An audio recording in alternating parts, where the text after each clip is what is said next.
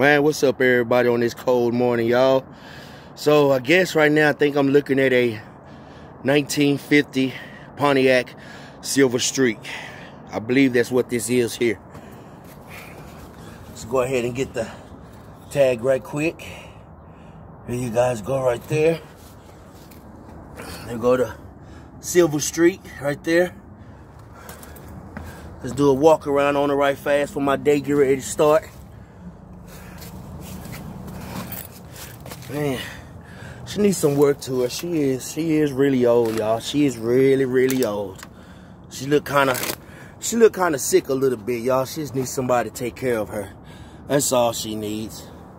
That is all she needs. She's iced out in the front. But she is rusted out the game. But that's just a definition of a classic. Man.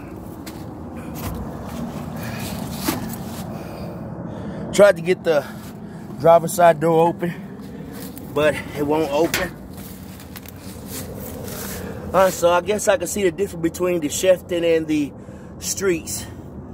The bumper in the back look like it changes because it's a little bit different in the back on the Chieftain. Man, she's kind of low. Man. There's the back of her. Like I said, she's all iced out, y'all. She's all iced out man. Yeah. She got some door damage right there. But she's a classic, y'all. See, I can't get these doors in, so I'm gonna kind of crawl in and show you guys the inside. Here we go right there. It's kind of dark up off in here. Tried to lighten up my phone, but kept light kept going dimmer and dimmer, so I'm gonna do it the best way I can, guys. Man. Get that right there.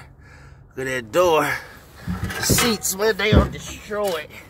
Seats are destroyed. The hairline is completely gone. Man.